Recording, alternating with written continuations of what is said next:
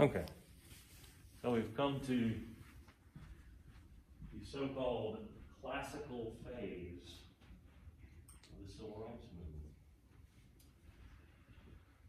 And we'll talk about what does that mean, the classical phase. But it will include some events with which I'm sure you are at least passingly familiar, if not very familiar. Though I may have a somewhat different take on some of them, or I may emphasize different things, we'll see. We'll, of course, talk about the Selma to Montgomery March. You know who that man is on the right? He just died recently. It's John Lewis. And we will talk about the bombing of the 16th Street Baptist Church there in my hometown Birmingham. But first, a little bit of context and to kind of pick up where we left off last time, talking about World War II. War in which, as you'll recall, and perhaps already knew, that black veterans had been instrumental in fighting that fight against fascism defeating Nazi Germany and Imperial Japan. And a lot of those people refused to come back to America as second class citizens, having fought for and risked death for their country. Now, some white people may have been convinced that this was rightly so, but some became even more insecure at the prospect of uh, black men returning and asserting their rights as equal citizens. Some black veterans found that out in the most brutal of ways, including pictured there at top right, Sergeant Isaac Woodard, a decorated veteran who had served in the Pacific in the war against Japan as a longshoreman earning a battle commendation for offloading supplies under fire. He had been discharged from the Army at Fort Gordon outside Augusta, Georgia, after the war, and decided to take a Greyhound bus home to North Carolina. And that bus stopped in South Carolina, and Woodard had asked the bus driver, you know, did he have time to get off the bus there when it stopped and go and use the restroom or something, get something out of the store. I don't remember exactly what, but point being is, you know, just give me just a minute. I mean, any a common request that any passenger on any bus or anything might make. The white bus driver didn't like it, didn't like the assertiveness of Woodard as a black man. Probably insecure at the fact that Woodard was a veteran and this man was not. And he decided to tell the police in the next town that this black guy had been harassing him on the bus. Yeah. And so the sheriff in the town, next town the bus stopped along with several of his deputies, decided to beat Woodard to teach him a lesson, including him beating him in about the eyes with their batons. And they blinded him. Ruined both of his eyeballs in this brutal beating that nearly took his life. And um, the news of this reaches Walter White at the NAACP, who was so appalled by it that he took it directly to the president at the time. Uh, Franklin Roosevelt had died in office in his fourth consecutive term as president and Truman from Missouri becomes president upon his death. Uh, Truman is an interesting figure. He does some things to advance or to sort of put civil rights at least on the table. And remember, he's a Democrat like Roosevelt, and so this would be something that would fly in the face of the interest of many, of most of the white people in his party from the South at the time. Uh, that being said, you know, he's also a pragmatic politician, and he understood that this would court the black vote at a time where after World War II, in some places around the country, there was increasing black voting. So Truman has, a, you might say, a mixed record. In any case, uh, White bringing to his attention this incident is perhaps instrumental in his decisions to one, create a commission on civil rights, a United States Commission on Civil Rights, to advise the office of the president on matters of civil rights, which doesn't seem like very much, and it's not, but it is something. Some action by the executive to recognize the value of civil rights as an issue. And he issues an executive order finally desegregating the armed forces of the United States.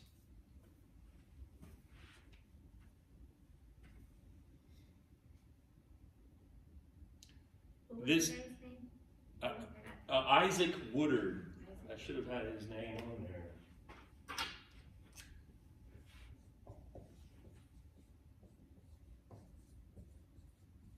There's a new book about that incident and its impact on President Truman. I can't remember the, the name of the title, but a recent historical monograph on that.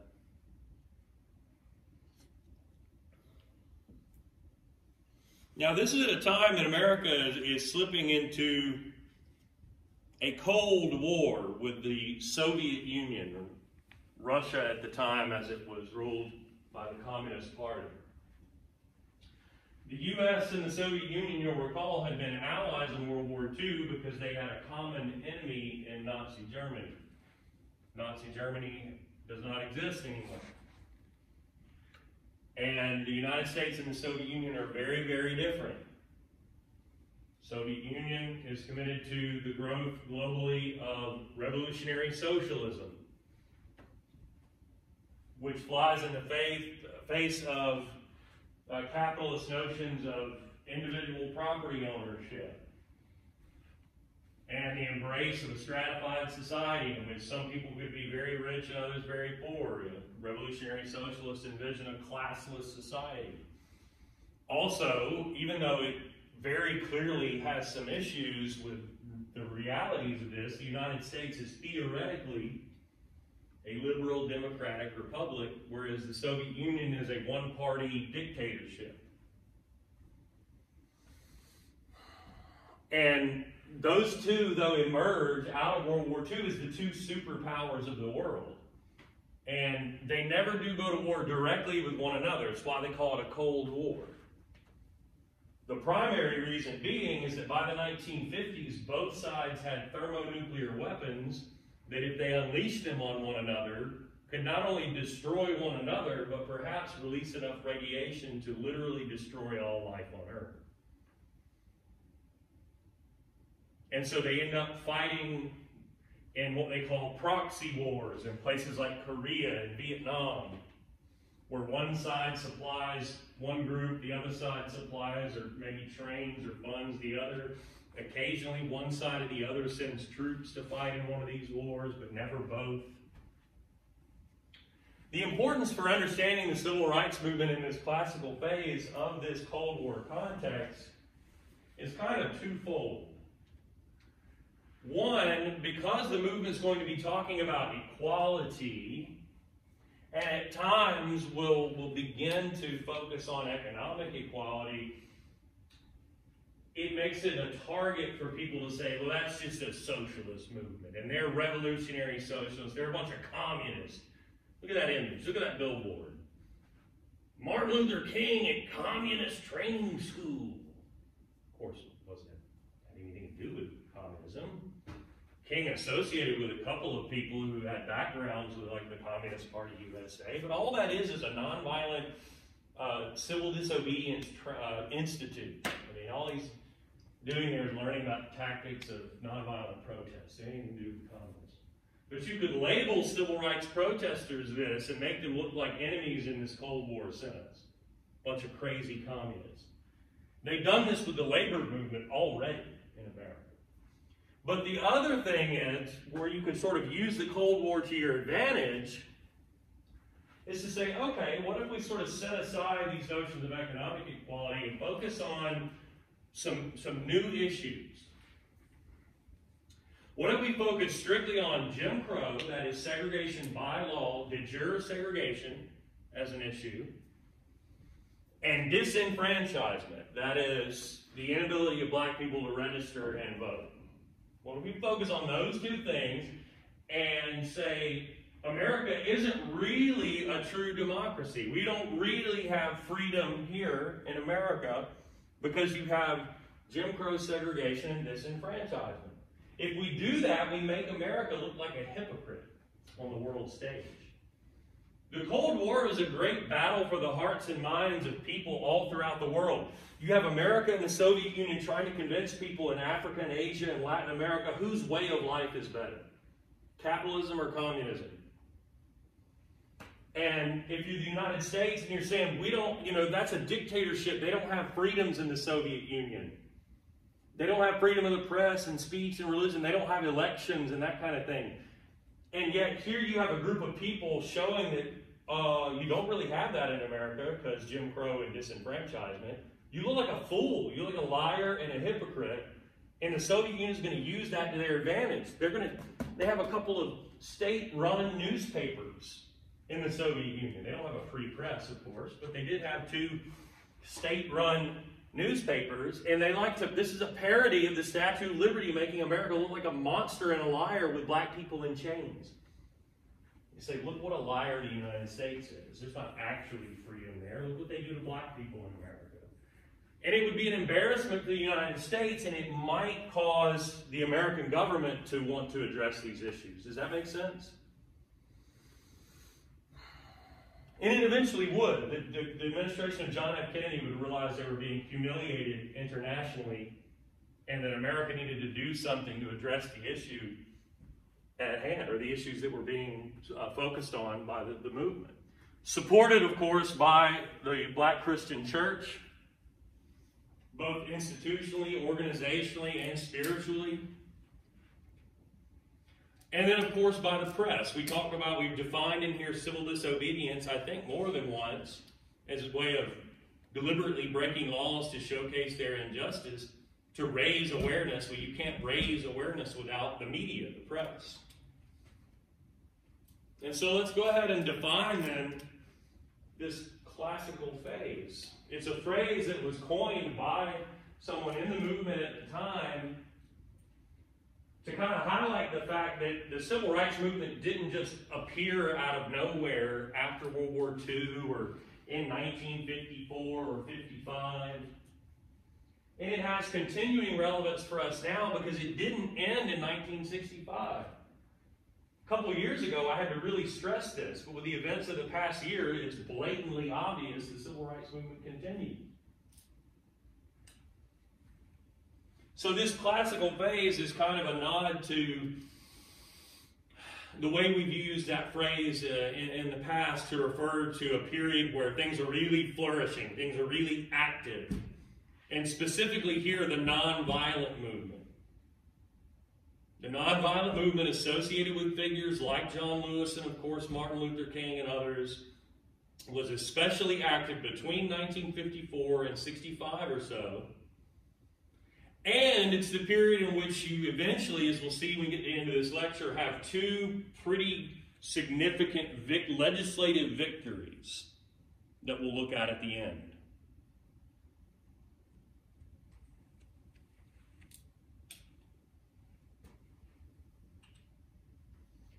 Let's look at some of the things that will usher this period in, some, some new beginnings, some, you might say, seminal moments.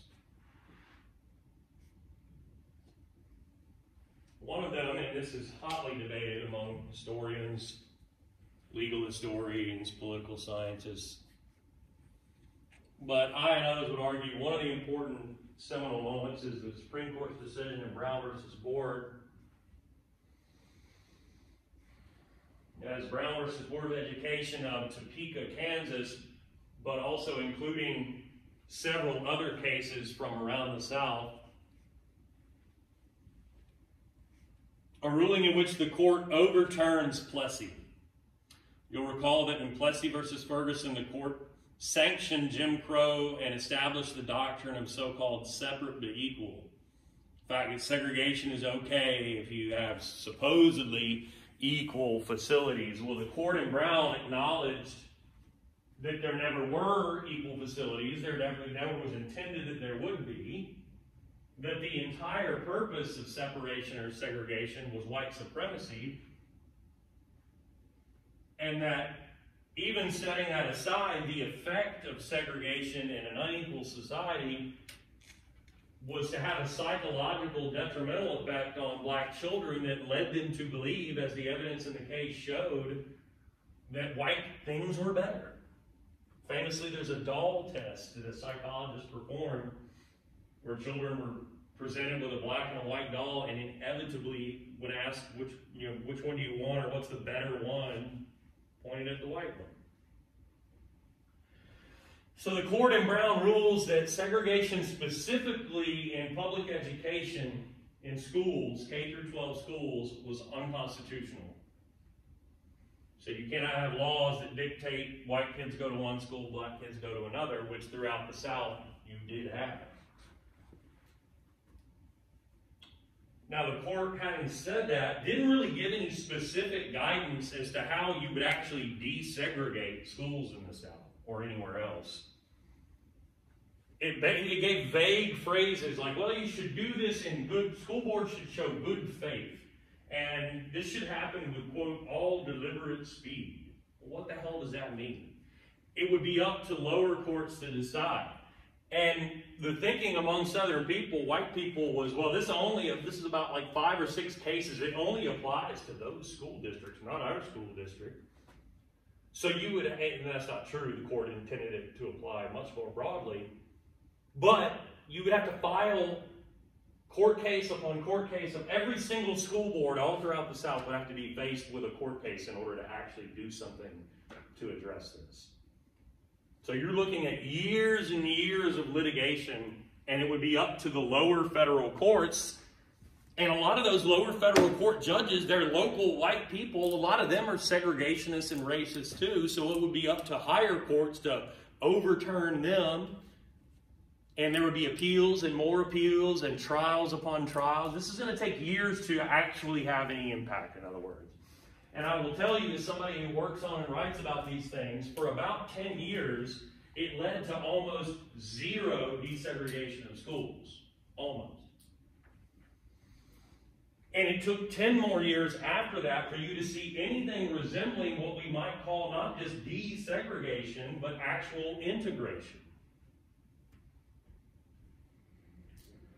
Now, that being said, the NAACP does seize upon this and initiate something they call Operation Implementation, whereby local NAACP branches would petition their local school board and say, hey, the court's made this decision. What do you plan to do? What is your plan to desegregate your schools? And when inevitably the white school boards would either ignore these, dismiss them, say, we don't plan to do anything, whatever it was, then you could begin the process of filing a lawsuit against that school board. And the NAACP Legal Defense Fund could work with local attorneys to work on that lawsuit and to see it through. But you had to have citizens, black citizens, that were willing to be plaintiffs and to work with you.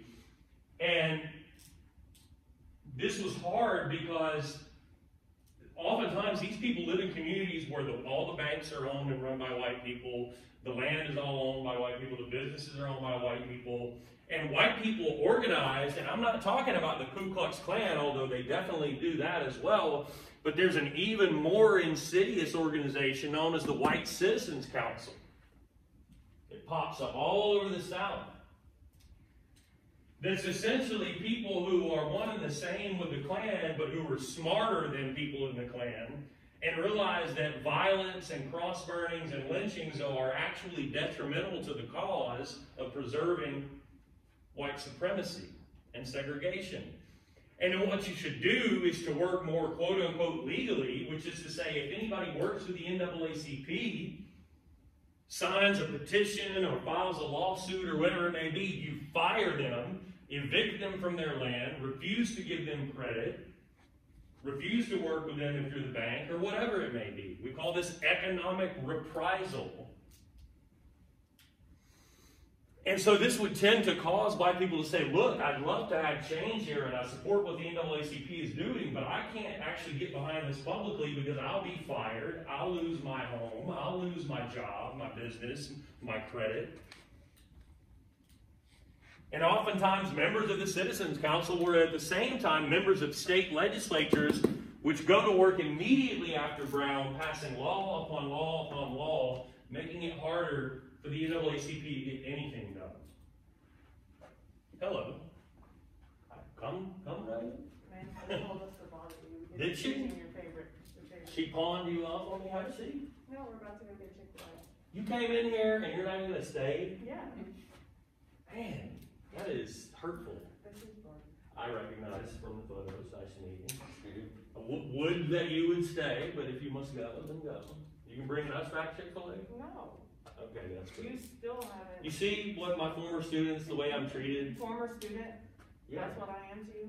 Okay, Well, could we see the way I'm treated? I'm just saying. Well, I'm saying you never followed up and you didn't come to lunch with us like you promised, so. Two semesters ago. You see, I have a job to do. Well, that's one now. It would be one thing if you interrupt my class and you bring me food. Like this would make. I haven't it. gone to get the food yet. So maybe I will get something. Is what you're saying? No. Okay, great. Well, I'm gonna go back to Brown then. So, nice to meet you. Guys. Nice to meet you. All right. Bye. Former student, but you fix it. Always, and a student always in my heart. A little bit better. Uh, so legislatures would try to do what they had done in the redemption period and pass laws that, if you just look at them, as we would say in the law, on their face, there's nothing about black, white, you know, uh, white supremacy and uh, secondary citizenship, but the intention is to maintain the status quo. For example, they pass what they call pupil placement laws, which allow local school boards to place students in schools based upon a list of factors. And like among the factors would be um, if it would tend to cause a disturbance in the, the local population, if a placement of a certain student in one school would be upsetting to people or anything, then you could avoid that. We can fall back on that and go, we can't put this black student in this white school because people will get upset, and the law says that's something we can consider and all kinds of things. I mean, there are places where there, the courts order school boards to allow this black student into a white school, and they just abolish the school system because they know white people have the money to start private schools, and black people don't. And so the thing being is that nobody would support desegregating the schools because then black people are not going to have any schools. And if they don't, then fine, because at least white people could organize private ones in, in the absence of the public ones. And even though some of these laws are, are plainly unconstitutional, it's still every single law that a state legislature passes requires a new court case, and that takes time. And then, of course, there's violence.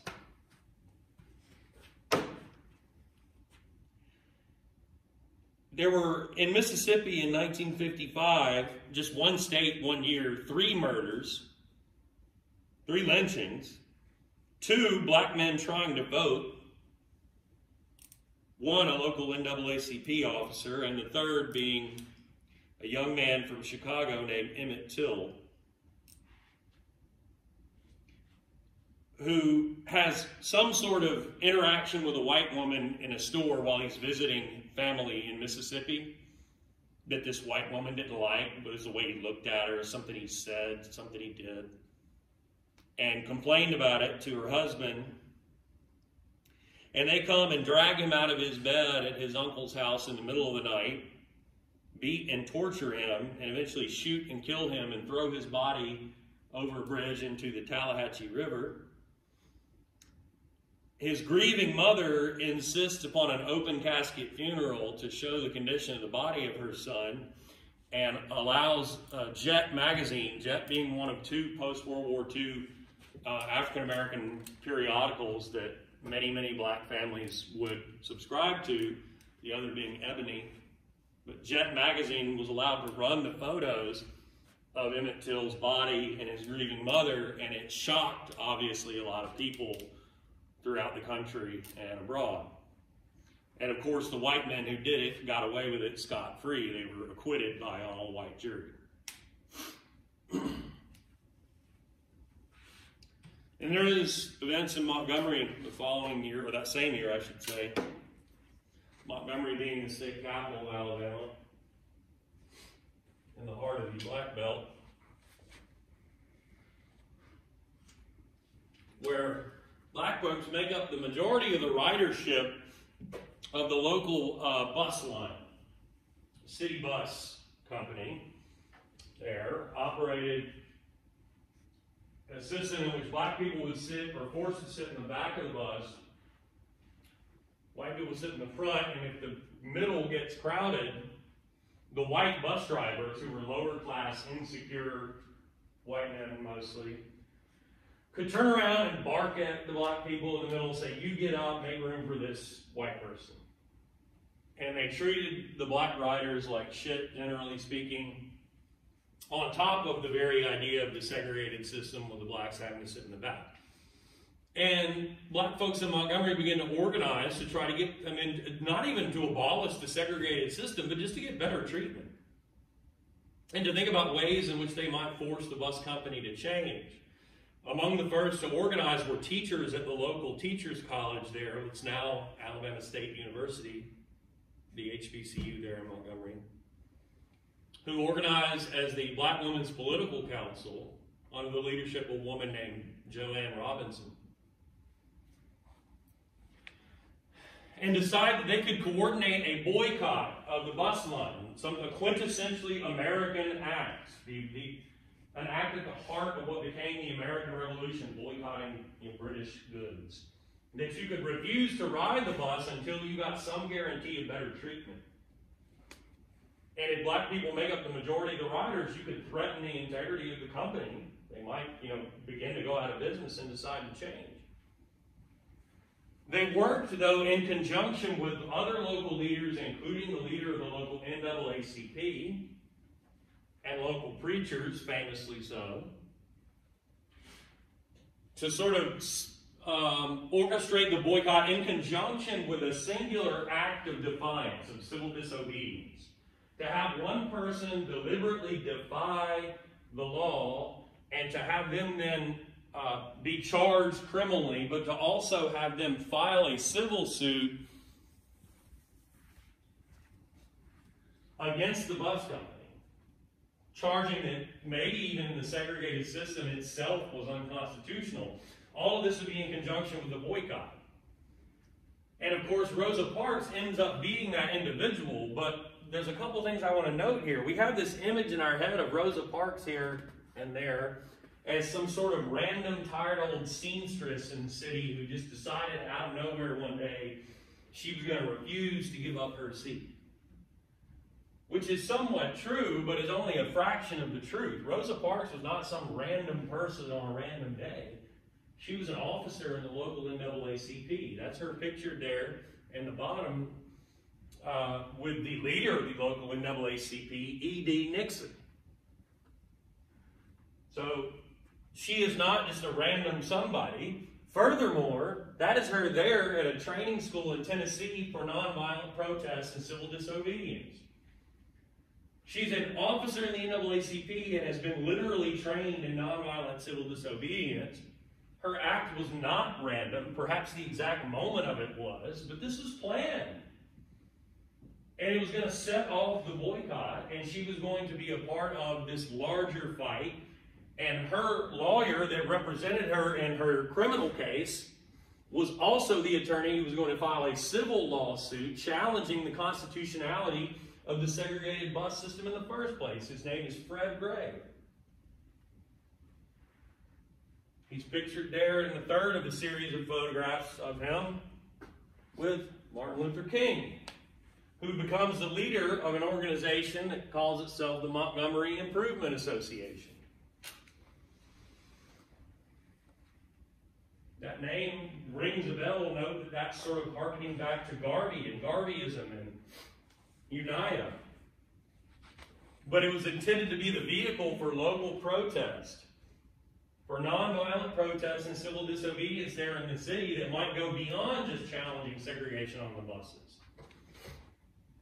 King was chosen as the leader because there was a lot of factionalism and infighting among other African American leaders there in the city, and King was kind of the new guy. He's from Atlanta. His father was a pastor of Ebenezer here in Atlanta.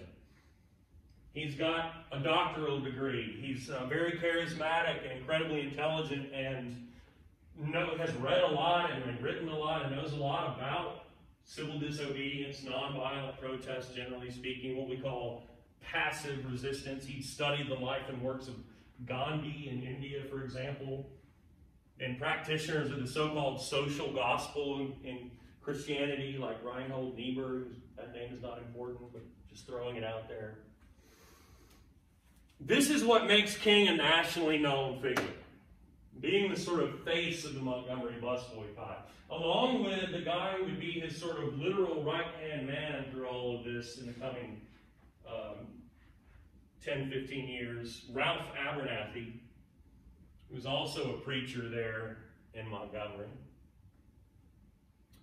So they nearly bankrupted the bus company. They organized carpools to get people to and from work and school. The police harassed them, of course, but it was effective enough where the bus company nearly went out of business, but people don't often know or realize or acknowledge it was the civil suit that was the thing.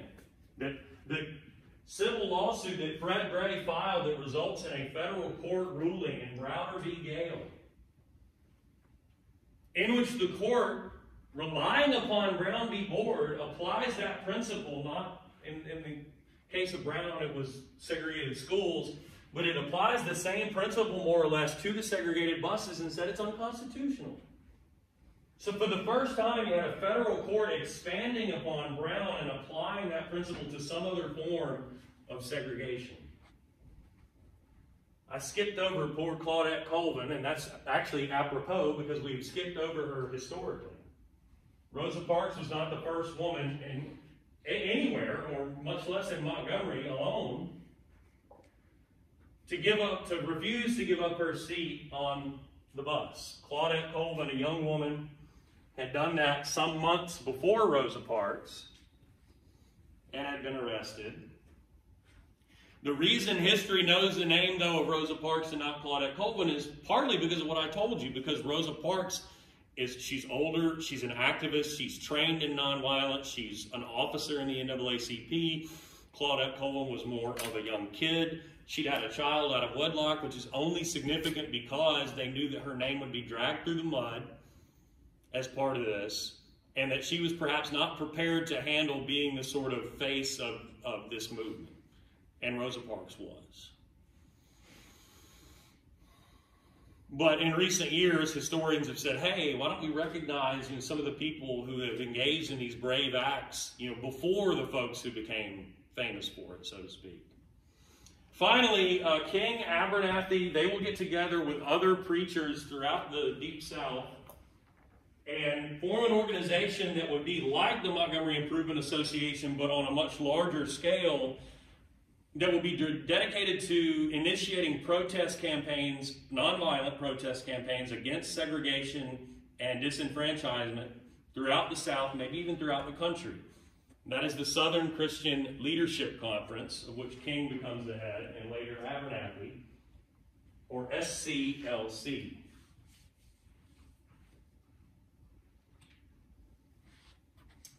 Let's talk about the nine and the four then.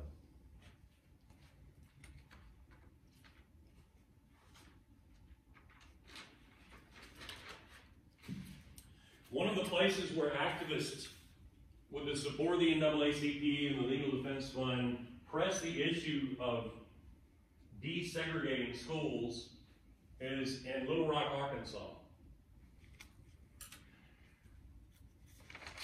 What they wanted was the federal court in Arkansas to approve a plan to force, in essence, the local school board and the city there to establish what they call a freedom of choice plan. This is the way desegregation occurs in its earliest forms.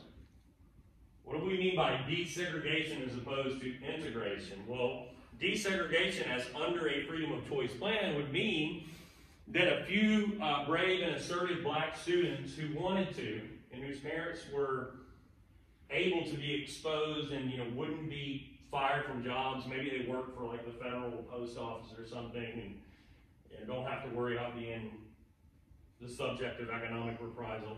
But those few students could petition and say, I would like to not have to attend the segregated black high school or whatever. I would like to attend the white high school. And courts would force school boards to approve some of these requests, and then you would have a scenario where you would have not 100% segregated schools. You'd still have all black schools, but you would uh, have some white schools that had a few black students in them. That's desegregation. As opposed to actual integration would mean you wouldn't have black schools and white schools at all, you would just have schools, right? That's a long way down the road. In some places, it never happens. But all these nine students in Little Rock were asking for was the ability to go to these few white schools, including Central High School there in Little Rock. Federal court uh, orders the school board to consider and, and approve these requests. But rather than allow the students to attend the school, eventually the governor of Arkansas will just shut the whole school system down for years. But there is this moment where they are admitted and they are set to attend and they go to enroll, and a, a mob surrounds the school and harasses these students, as you can see vividly depicted there at top right. And the governor's not going to do anything about it. He's enabling this you know, violent, threatening reaction from local white people who are not allowing the students to attend the school. And it forces the president at the time, uh, the, the man who had been the leader of American and all allied forces, in fact, in World War II, Dwight Eisenhower, who becomes president, he's forced to deploy the military, the United States Army, the airborne, to Little Rock to protect the integrity of these students and their ability to attend this school. The United States President has to order in the Army to allow nine black students to attend a white school in Little Rock. And of course, it's all caught on camera, broadcast throughout America and for all the world to see that in order to attend a white school, nine black kids need the full power of the U.S. Army Airborne. And then, like I said, eventually the governor just closes the damn school system, and there just aren't any public schools in Little Rock for a year or two. So you didn't go to school for a whole year or two? Sorry, so they didn't go to school for a whole year? Correct. What? There just weren't schools. Yeah. They do it in Virginia too. It's not school. Oh, you want us to integrate? You force us to? Well, what if we don't have schools? Oh well. That's the kind of defiance we're talking. That's what we mean. I didn't. I didn't define this or speak to it directly a moment ago in the last slide. That's what we mean by massive resistance.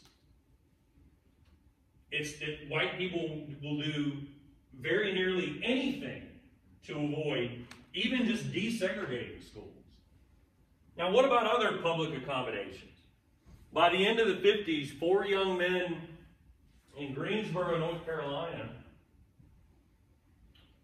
who had been having conversations with their parents, with their preacher, teachers, about what can we do? You know, what we, we see a, a sort of growing energy among our people to address segregation, inequality, disenfranchisement. What can we do?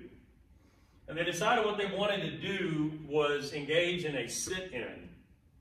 These young men are students at North Carolina A&T, the HBCU there in, in Greensboro and decided that they would go and sit in at the lunch counter at the local department store, uh, the Woolworths. You back then they didn't have shopping malls. Every downtown of every city would have a few department stores. Like uh, Kress was one of them, and of course Woolworths. Where black people were welcome to come in and spend their money on goods, but the little lunch or snack counters off to the side that offered sandwiches or coffee or, or pastries or whatever, uh, those counters were whites only.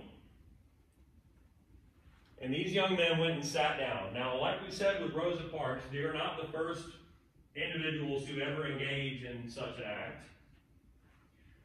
Why it is significant is because when they are kicked out, they resolve to come back again the next day, and the next day, and the next day. And eventually, crowds gather, both of people in support of the young men and also in opposition who are harassing them, yelling at them, eventually doing violence to them. And the third component, in addition to supportive people and angry white people, would be the press. And it gets covered and reported on and people learn about it. And the word and the idea spread all throughout the South, and the process is repeated elsewhere. In most cases, by people who are trained in nonviolence and understand when you are inevitably attacked by these angry mobs of white people, you don't fight back. Because that gives you the moral high ground. Nonviolence as a philosophy to show people, remember to raise awareness, to have pictures taken and stories written and, and video captured of what these people are willing to do to you to simply keep you from sitting down at a damn lunch counter. And eventually, it's not just lunch counters. You could have uh, you could have a read-in at the segregated library. You could have a wade-in at the segregated public beach, a swim-in at the segregated public pool. You could engage in a sit-in type protest in a public park. Public bathrooms, waiting rooms, anywhere, any public accommodation that's segregated, you could engage in this kind of nonviolent protest. And this begins to happen all throughout the South. And people organize in order to promote these kinds of protests. We've already looked at SCLC as an organization that would be committed to engaging in sit-ins and other types of nonviolent protests. but young people organize too, including in North Carolina. Those students end up joining forces with a, a really active student movement in Nashville, Tennessee. Now, why Nashville? Is there perhaps an institution there in Nashville that might support young black activists? Fisk University, that we've talked about in here more than once, is in Nashville. One of the highly influential and venerable HBCUs, Fisk. Diane Nash and John Lewis are students at Fisk. John Lewis is a, a young man from Troy, Alabama, in the Black Belt of Alabama from a rural area there outside of Troy, actually. From, grew up on a farm. Always had aspirations of becoming a preacher. He famously said he would uh, preach to the chickens on the farm, practicing his sermons. Anyway, he must have preached to. And he ends up at a seminary there, Baptist seminary in Nashville, and, and eventually at Fisk. Um, Diane Nash was a former beauty queen from Chicago who initially went to Howard, but also ends up at Fisk, where she meets John Lewis and others, and they end up um, attending workshops in nonviolent protests under the leadership of a man named James Lawson. Where they would train and, and role play, they would actually have people there in the workshops who would role play as the angry whites who would yell at them, spit on them, beat them. And you were trained to not fight back. And you were trained to organize, to, to be able to know that, okay, these people are going to be arrested. We want to have a second wave and a third wave to come in and sit in after those people are arrested. To have those kind of plans to deal with what you knew was going to come. And to the point of organization, these students who learned under Jim Lawson decide to have their own actual organization, structurally speaking, specifically independent of SCLC, these are young people, and yes, some of them, like Lewis, you know, had been a part of the church and aspirations of being ministers, but they wanted an organization that was not strictly run by a bunch of older preachers who had their own ideas about the way things should go. But under the tutelage then of an older woman named Ella Baker, who had been a part of SCLC, had been its secretary for a while, they formed SNCC, the Student Nonviolent Coordinating Committee, in order to organize these kinds of nonviolent protests. The first of which, uh, the first SNCC campaign was there, of course, in Nashville, where they desegregated the lunch counters and other facilities in downtown Nashville. Famously, at one point, Diane Nash herself confronted the mayor of Nashville at the time on the steps of the courthouse with cameras rolling and asked him basically, you know, as a man, you know, can you morally support a system of segregation that essentially holds black people down as second class citizens? And remarkably, this older white mayor, a typical sort of southern mayor of a very segregated and racist town, has to step up and say, no, as a man, I only knew one answer to that, and it was no. And so the mayor becomes an ally in desegregating facilities in downtown Nashville. Now, more broadly, you see this quotation from Nash here. She says, We presented Southern white racists with a new set of options kill us or desegregate, and remain nonviolent in the process to maintain that moral upper hand. That's Ella Baker at top right, John Lewis in the middle, and there John Lewis receiving the Presidential Medal of Freedom from President Obama, who vividly eulogized him here in Atlanta when he died uh, just last year. Students, top left, notably, as you can see, uh, including white students, SNCC was initially an interracial organization. That, those students, they were in Jackson, Mississippi, being humiliated by the angry white mob, which eventually would, in addition to pouring condiments and the like on them, just pull them off the bar stools and beat them. Anybody been to the Civil and Human Rights Museum in Atlanta? I Did you do the sit-in thing?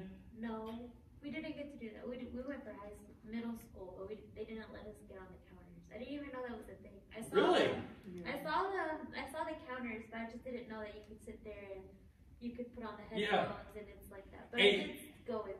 It was That's a shame. Did you get to do it? No, I didn't. Maybe I mean, you might choose not to, in fairness. It's kind of disturbing. Like, you put the headphones on and you've got the people screaming the obscenities, and you might guess the kind of things that they would say.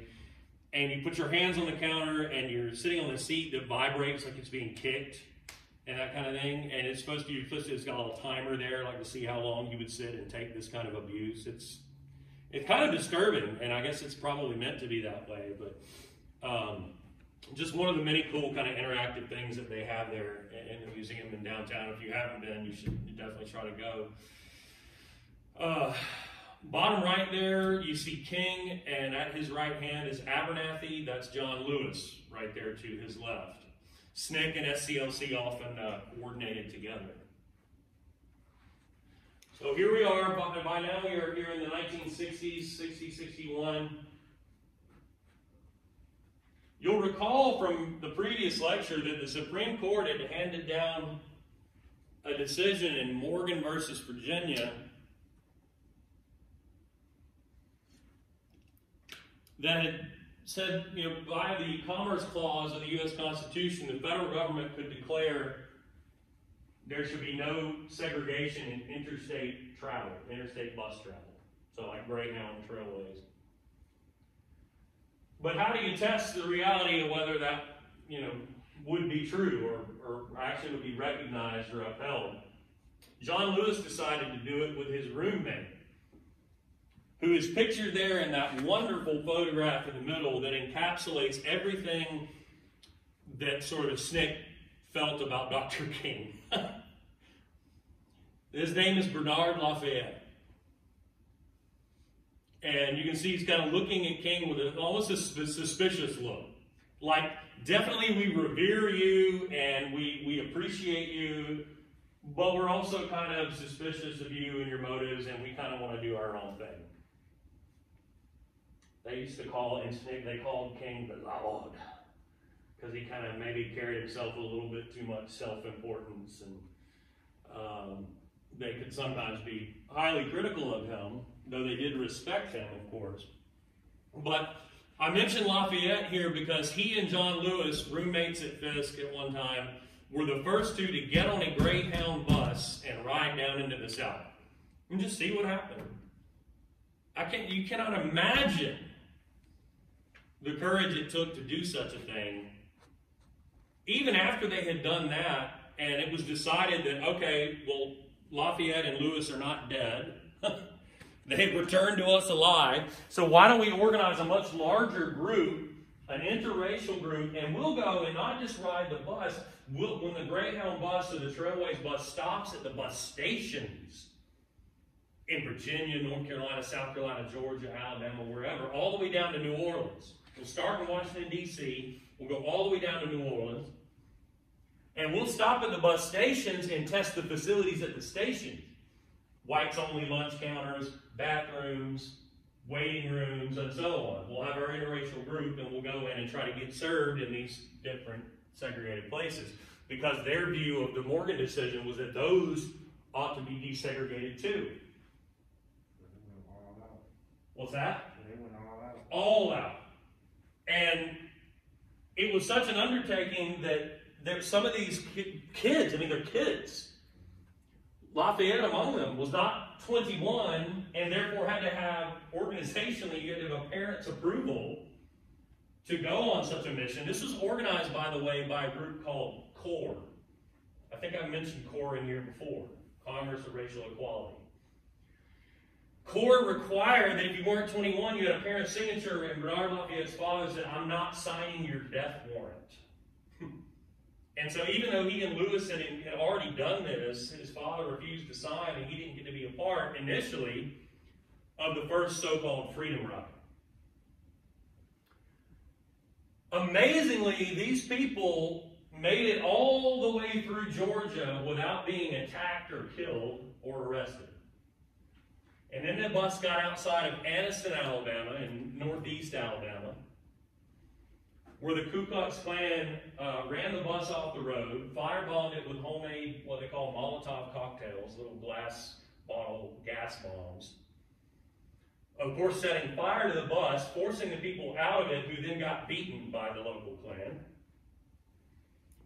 But they resolved, we're not going to quit, we're going to carry on. We'll have the bus company send a new bus and we'll go on to Birmingham, where the local police commissioner had colluded with the Klan to basically allow them a half hour to beat these people at the bus station before the police arrived.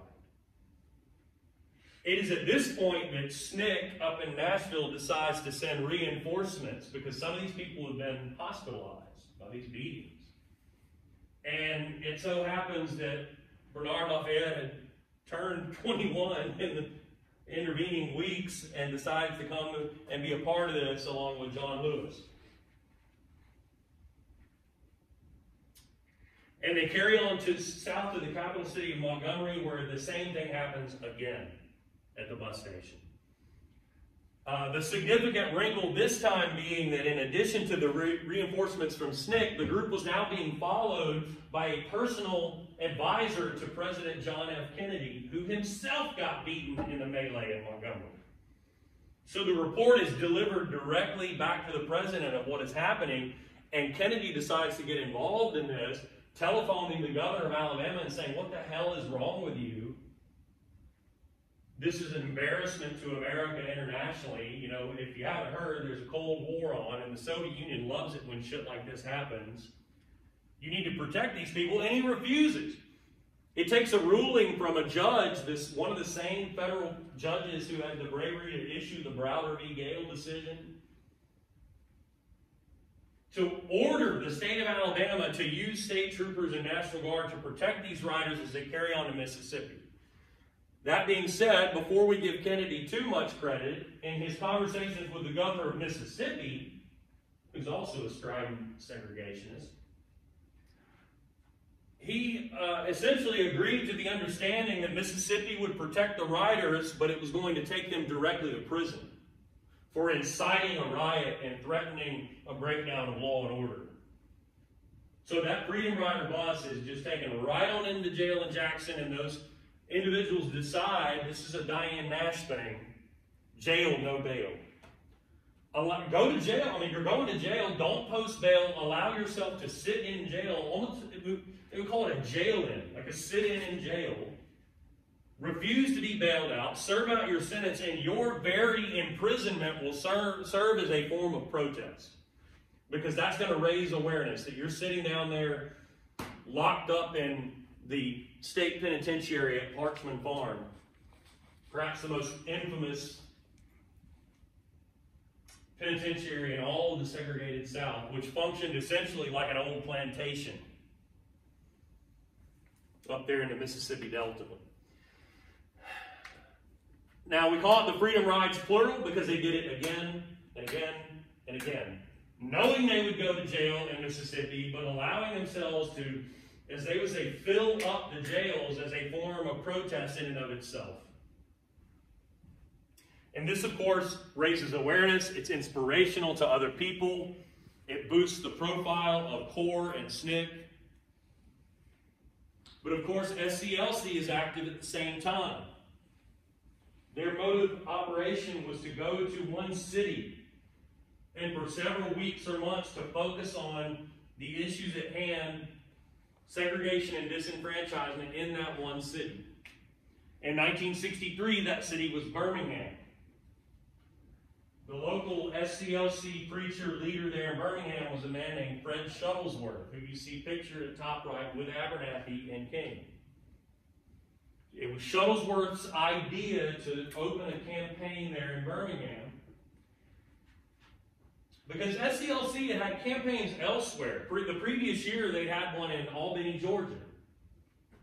And it wasn't super successful because the white sheriff there was smart enough to know that if he taught his deputies to sort of behave while they were on camera and to keep angry, stupid, racist white people in line while the press was there, they could sort of hide the realities of white supremacy in Albany while King and SCLC were in town. Fred Shuttlesworth knew that the local law enforcement leader in Birmingham, a man named Bull Connor, was not that smart. And that if they had a campaign in Birmingham, it would be much more successful, and oh, how right he was. The strategy was to boycott downtown businesses, white businesses that refused to hire black people and that segregated their waiting rooms, water fountains, bathrooms, whatever. To picket outside of those businesses, that is to have protest lines with signs saying, hey, don't do business here. And to march periodically throughout the city in support of these efforts, to have mass meetings at local churches like Shuttlesworth Church, to where you would tell people this is what we're doing. You would have sermons, of course, spiritually in support of that. King would show up, and Abernathy, and so on. And then this might force the white business's hand because they would be losing money. So you appeal to people morally, but also you appeal to their pocketbook at the same time. Uh, meanwhile, though, Bull Connor does everything he can to thwart these efforts. Uh, he refuses to issue permits, for example, for the marching and the picketing, and he has these people arrested in mass, including King himself at one point, who famously, while he is in jail in Birmingham, writes these letters Specifically, a letter to white clergymen, white preachers in Birmingham who are like, hey, simmer down now. Slow down. Take it easy. You're pushing too hard. Bad things are going to happen.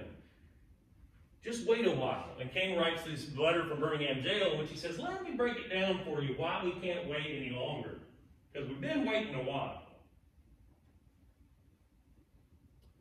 So many people were arrested, in fact, that at one point, a man named James Bevel an influential uh, leader in the movement, decides that we could have a sort of children's campaign or crusade where we encourage local school kids to stay out of school one day and to march, and we'll sort of dare Bull Connor to arrest a bunch of kids, which he did, and which, as you can see, is vividly captured on camera.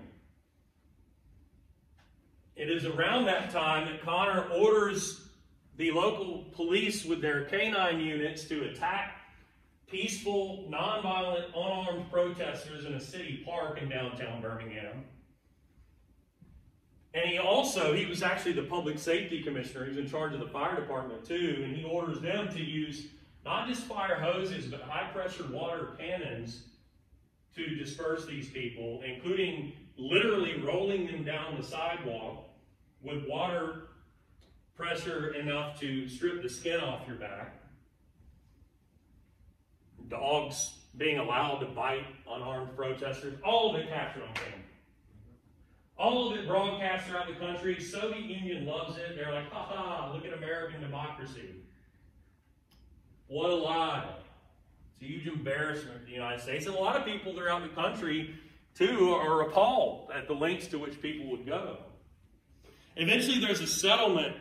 The white business people decide that this is horrible for Birmingham's image, detrimental to their pocketbook, as was, of course, the boycott. And so, note here that it's not that they're morally convinced that segregation is wrong or that white supremacy is wrong. They decide we're losing money, so we'll, we'll, we'll agree to a settlement. And King and the white business leaders sit down and they decide, okay, please leave, please get out of town, Martin Luther King and SCLC, and we agree that we will take down the white and colored only signs, and we'll agree to hire some black clerks and such. Fred Shuttlesworth was disappointed because he wanted a much larger agreement, including local leaders agreeing to desegregate Birmingham schools. To that point in Alabama, not one single black child had ever sat down in anything other than an all black school in Alabama. Ten years after Brown. Shuttlesworth had been fighting that ever since. And so the fact that this settlement didn't include anything that addressed that was very disappointing to him. But that was it. And King leaves town, and Shuttlesworth is left to carry on the fight. 63 was an incredibly consequential year, though. Even beyond just those events. That was in the spring, by the way. All of that that happened in Birmingham. Later that year, George Wallace orchestrated the absurd charade that would come to be known as the stand in the schoolhouse door.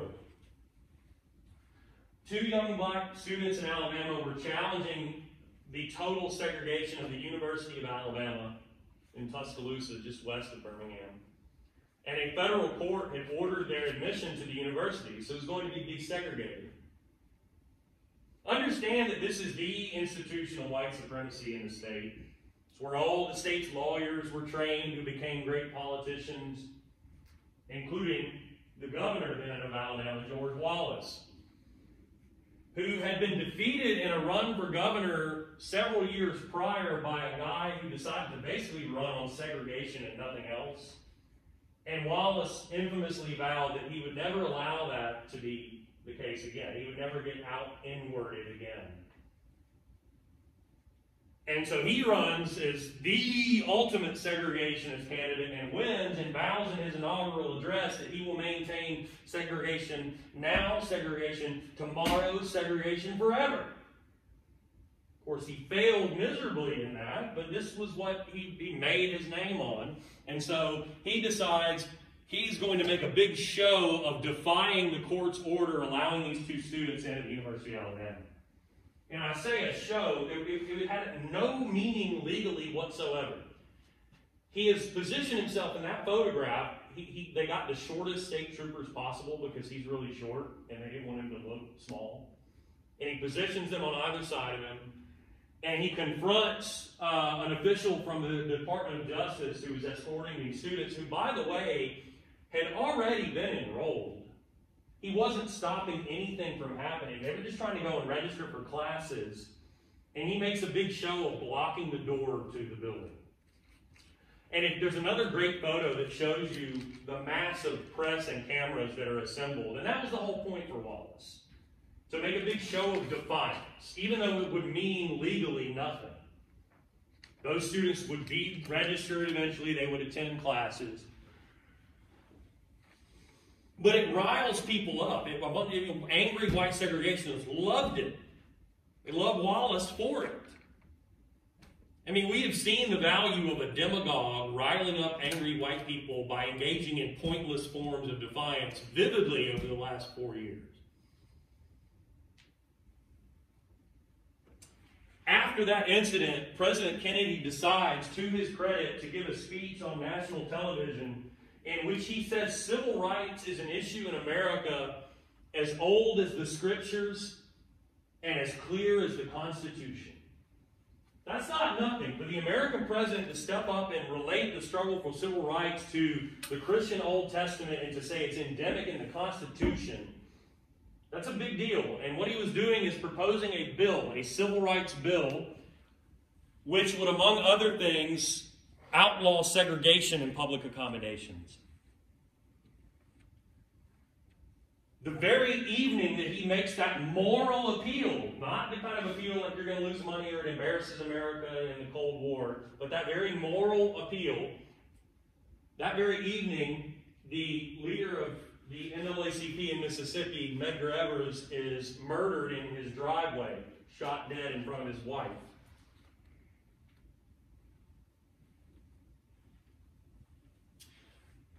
And then that summer, later that summer, schools in places like Birmingham, where Shuttlesworth had filed a court case, were finally set to be desegregated in some of the most segregated parts of the Deep South for the very first time. There is a mass protest of hundreds of thousands of people, the kind of which A. Philip Randolph had envisioned years before, a march on Washington.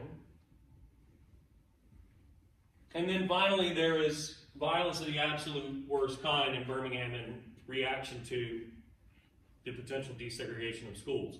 We'll have to pick it up here. You'll remind me that we stopped with the murder of Medgar Evers on the evening of Kennedy delivering that speech, and we'll pick back up there after, I guess, the midterm. Well, this will have to carry over. We'll have to adjust our schedule. And you'll have to remind me to um, cut off, I guess, the um, study guide and the midterm right at this and to not include anything that follows this, okay? That make sense?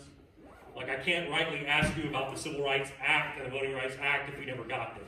Can't ask you about Bloody Sunday if we never got there. So, we'll stop at murder of Medgar Evers. That'll be the end of the information that you'll need for the midterm. And then when we come back from the midterm, that's just where we'll pick up. We'll have we'll finish this lecture. We'll have another one on Black Power. Maybe even one more on the the long backlash, as I call it, and um, well, not as I call it, but as it has been called. Um, I can't take credit for that. Uh, and, and, then that'll be the sort of end of our history portion, and we'll move forward with the other core content areas, including two guest lectures in areas where I would be like over my head, but we have uh, other professors here who can speak more authoritatively to, say, for example, black psychology or uh, the African American humanities. So uh, that's our roadmap moving forward. Any questions? Um, the midterm is going to be online or? Yeah, all online. Yeah, it'd be the same as the quizzes, just um, a little bit longer. Um, I, I, if you look at that study guide, I said I'm not going to ask you about the additional readings because I don't want you to have to go back and read all that.